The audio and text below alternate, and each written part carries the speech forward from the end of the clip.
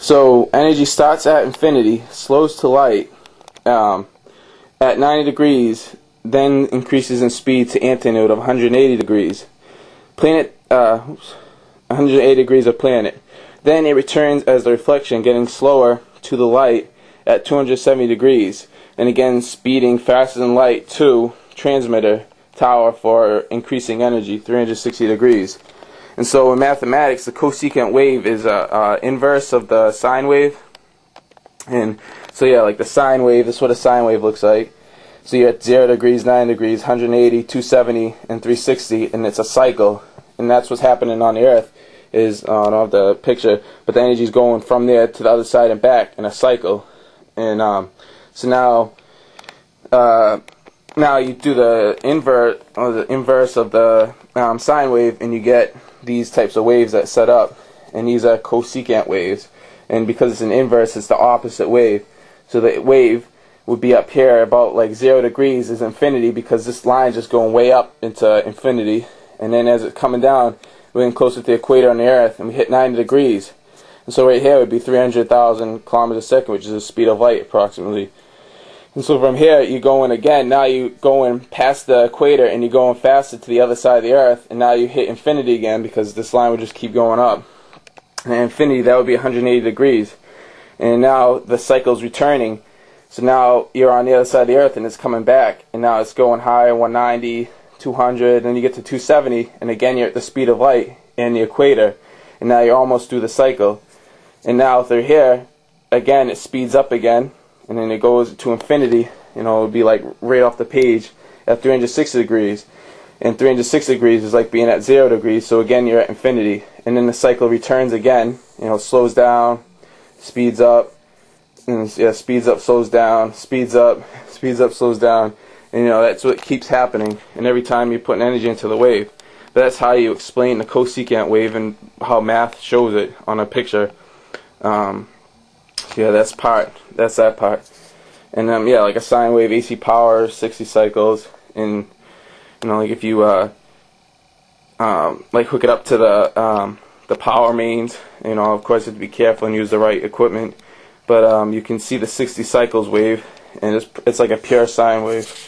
Um, so now now we get to interplanetary transfer part, and uh, to do something like this, we need a much larger tower from what he was saying, 10 times, 100 times, 1,000. I don't really know how big, but it would be a lot bigger than Wardenclyffe. Um, if Wardenclyffe was built, Niagara Falls would have given Tesla the energy for a much larger tower at the Niagara Falls site. The Niagara Falls site would have secured unlimited energy for the Earth, um, water power, larger tower, more energy to put into the resonant waves. So, you know, we've been energy efficient till the end of the Earth disappears. Um, now, I said, would the Niagara Falls site be able to transfer energy through the vacuum of space to other planets? Possibly, but I think it would be an even larger tower. Would need to be built and built by all countries, probably because of the price of it. Like what they're doing with the CERN particle accelerator. Uh, and then communication would be easy. You wouldn't need the massive tower, but you could communicate. Uh, through space using like uh, even just the Wardenclyffe Tower type tower. And so, and so let's look at interplanetary energy transfer. And so I just show the magnifying transmitter on the Earth, Niagara Falls, you know, giving off like pretty much unlimited energy as long as the sun's here and everything. And then, um, so now we look as if energy is being transferred to the moon or even Mars. And so that will be the next part. So over the years of Tesla's uh, work, he talks every so often about interplanetary energy transfer. And his articles where he says, "Oh, we could probably transfer millions of horsepower to the moon and such," and then now he's setting up industry throughout the universe in a way.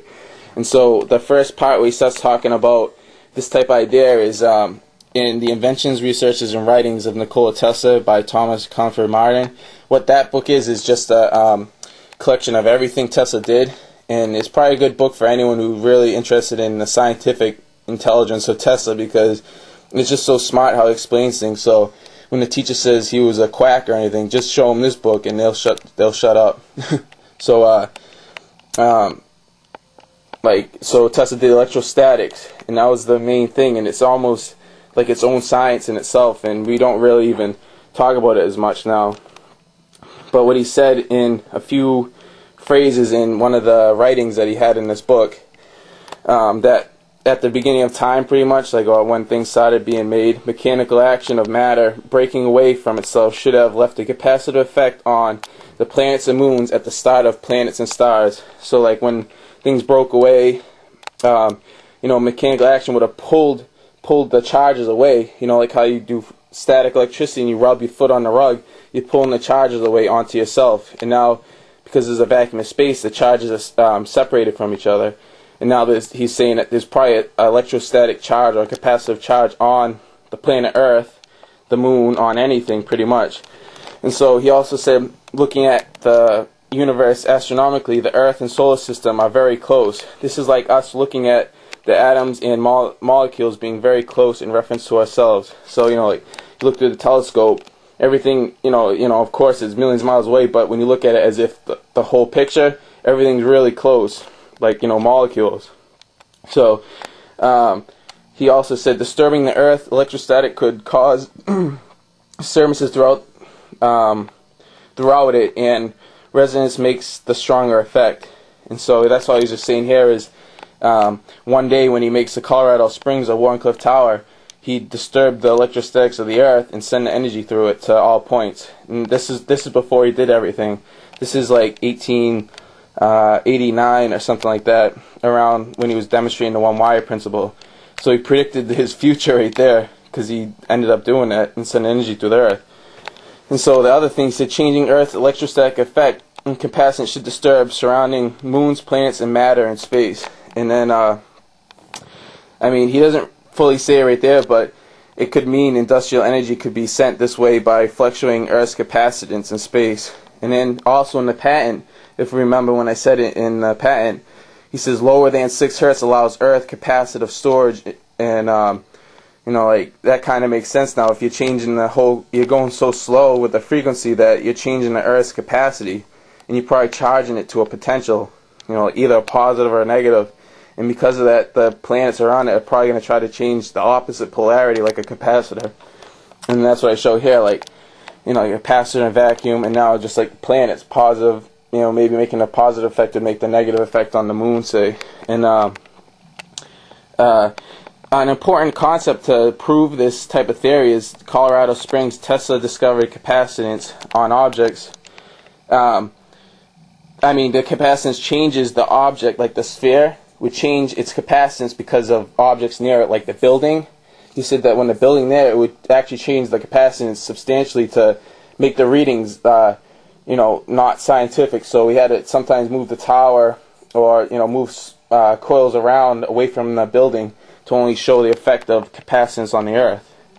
And so, as I'm saying here, is uh, objects uh, discovered capacitance changes on objects near other objects, buildings, and distance from the Earth, so height. So uh, another important point here is Tesla detected intelligent signals coming from space that were extremely different than the solar and atmospheric effects he detected before.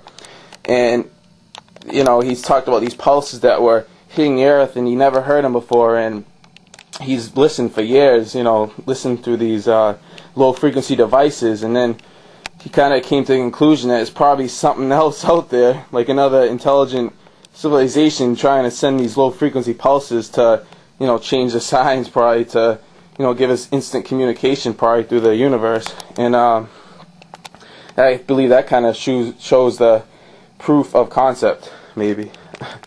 and so yeah, that's that. Uh, so you know, like the capacitance, and maybe this that's how it would work and it's just interesting. He talks about these signals, and you know, it makes you wonder, like, what are those signals? Some people say it's pulsars or these big um, cosmic events, but you know, what if because these low frequencies, it's some type of other um, information transfer or energy transfer? So it's really interesting.